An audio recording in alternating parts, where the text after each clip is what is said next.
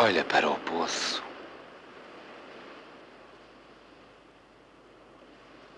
Parece o cano de uma fábrica.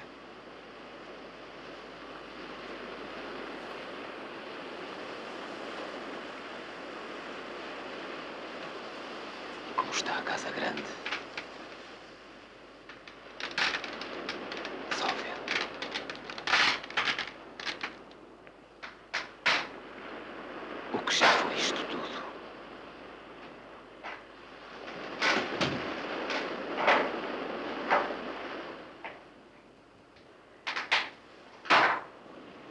Lembres-te da casa do meu avô?